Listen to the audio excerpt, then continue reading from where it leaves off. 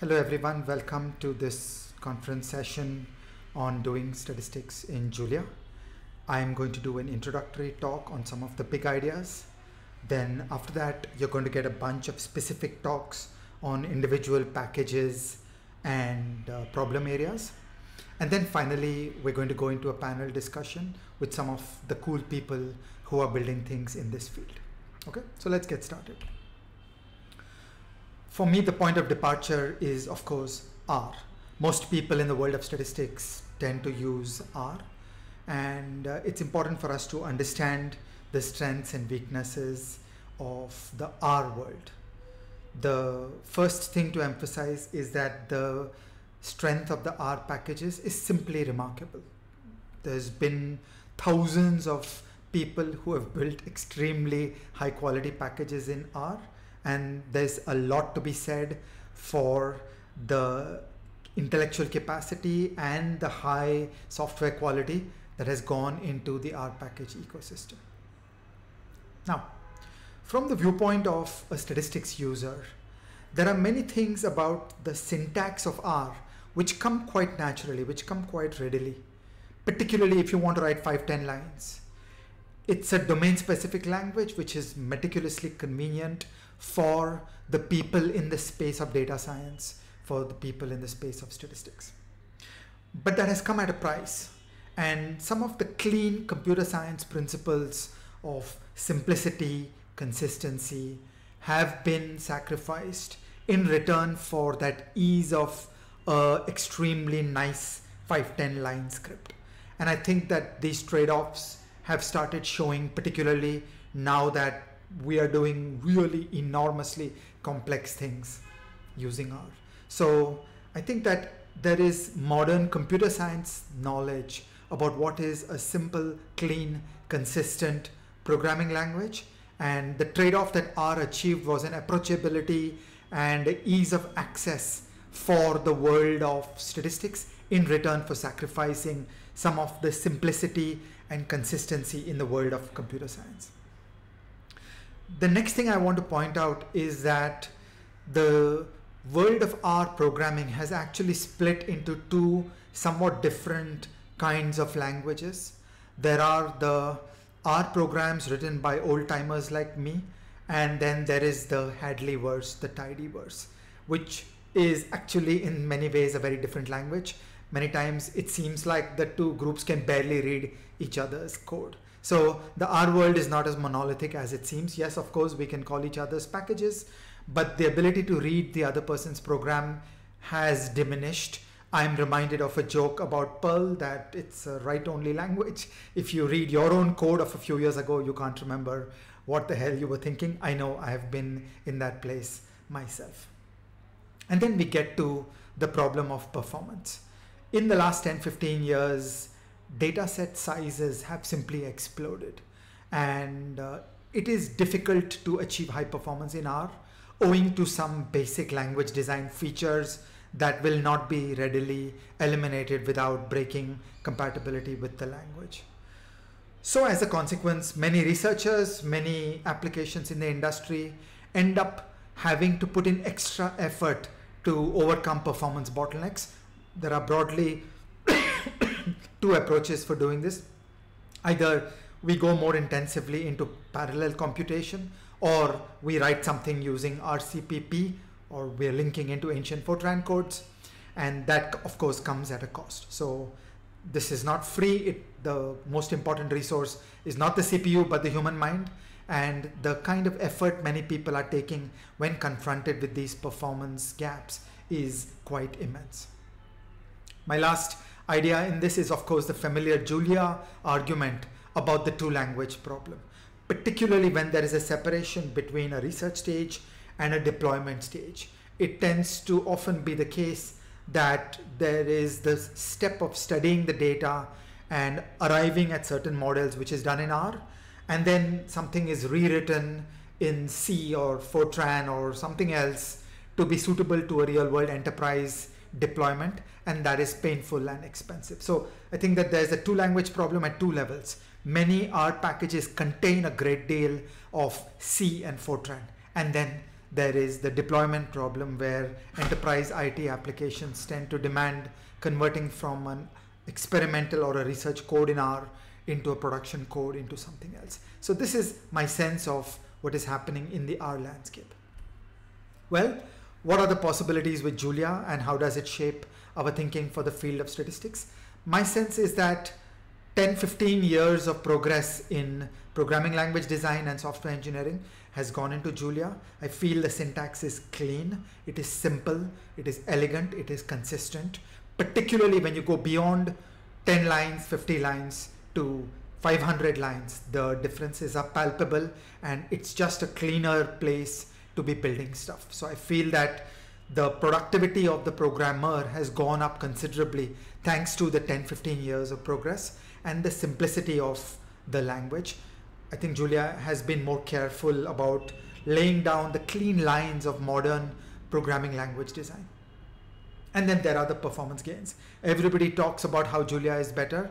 Um, I want to tell a story about our own experience. You're going to see the talk about uh, the survey package that uh, my colleagues have built. And in the survey package, we have seen that while we have enormous respect and admiration for the work that Thomas Lumley and others did in building the survey package. We find that our small Julia implementation of similar concepts for certain similar problems is giving performance gains like a hundred times.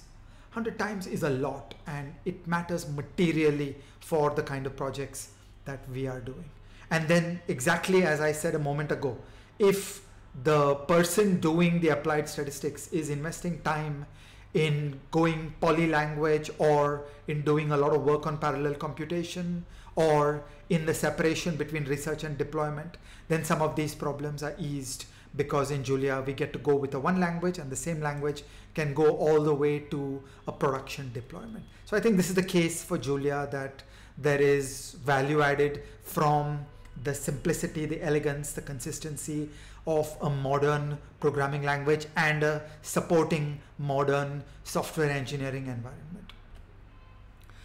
In my opinion, the single place where the greatest translation of this promise of Julia into a living reality has taken place lies in Bayesian computation. In the world of Bayesian computation, we've gone through a long journey of bugs and then JAGs and then STAN. And in its own way, we have had this two language problem all through. So, you know, we are uh, finding ourselves in the place of writing an R program inside which there is a STAN program. And that is its own kind of two language problem. And uh, there was a natural opportunity to make an all Julia workflow because Julia has the modern computer science through which the Bayesian model can be written in pure Julia. And there could have been an approach of doing something more modest, but I really admire the people who have done Turing, who have done Soss, and they've played this at a higher level, they've played this at a bigger scale. And I feel it's not an exaggeration today to say that the best Bayesian statistics today in the whole world is done in Julia using Turing and Soss. And I think these are remarkable packages and they have not done a mere reimplementation of Stan in Julia, but they've gone and thought this afresh using the modern computer science opportunities of Julia. And in my mind, this is a foretaste of where we can go in statistics in Julia. So we are not there. There are many pieces that need to be done, but in my mind, this is a demo of what a transformative gain can be obtained by rethinking statistics from the ground up using Julia. And that takes us to the perennial debate that when we build statistics for Julia, should we go for something that is more comprehensible for the install base that is coming from R? Okay, the bulk of the statistics of the world today is done in R. And so there are certain metaphors, there are certain interfaces that a lot of the user base is used to? Or should we go deep into a native Julia world of rethinking, of reimagining how these things can be done in the Julia world? And while of course there will be this perennial debate, in my opinion, I feel we should lay the foundations for a more profound gain as the Turing and Soss people did. And so I feel that maybe there should be a compatibility layer, there should be uh, code generators like the old F2C. There should be many, many crutches using which the install base can choose to move more readily. But fundamentally, a programming language that does not change the way you think about programming is not worth learning, as the old fortune goes. And here, I think our opportunity is to rethink this as a, at a deeper level. So just like S was a revolution, just like R has been a revolution, I feel there is an opportunity here to think about statistics from the ground up in a new way to bring new imagination to bear on this and to build a new world which will actually be more expressive and come closer to our thinking as statisticians and make it easier and nicer for us to do statistical research. So we're not competing with anybody else in this game, we're competing with ourselves. Let's build something good. Now, in this, I think it's important to see that we don't need to leave the richness of our R packages behind. RCall is always there, and so we are never stranded. So in fact, whenever there is a particular specialized estimator, which is done very well by an R package, great, we should use it. So as an example, I have worked on an R package called FX regime, which estimates structural breaks in the exchange rate regime. It is perfectly accessible using R call. So I feel that our way forward lies first in focusing on the 90% of the lines of a project, which are actually the everything else. Only 10% of the lines of a project are the actual statistical estimation.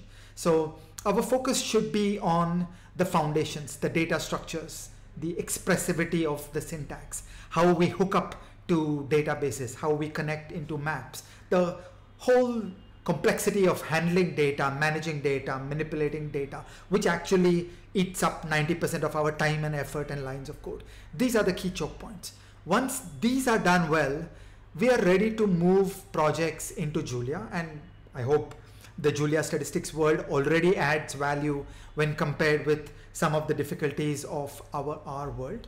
And when it comes to the specialized estimator, we can always use R call and drop into a beautiful R package and get our estimation done. So I feel our priority in building the Julia statistics ecosystem should be the everything else. It should be data structures, syntax, expressivity, and the surrounding infrastructure of databases and maps and parallel computation and so on.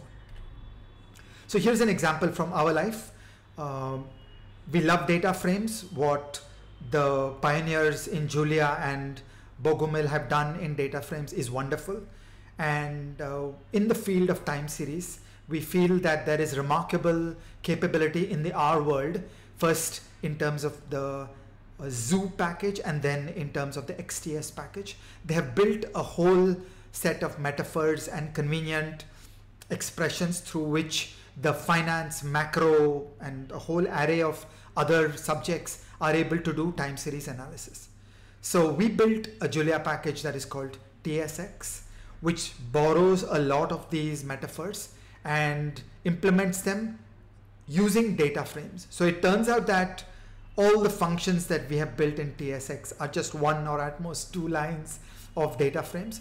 But the point is that they pick up the world of a time series programmer to a higher level and so that we're not doing complex data frames manipulations, but we get the simplicity and the beauty of the zoo and XTS syntax so that basically you could be doing a complex time series oriented finance macro project in a Julia workflow. And then of course, there will be times when you're doing a complex uh, estimation of some likelihood function. At that time, it may well make sense for a long time to drop into an R package to get your estimation done but the viability of the main macrofinance workflow being done in Julia critically required this replacement for a Zoo XTS and so we chose to build that in the TSX package.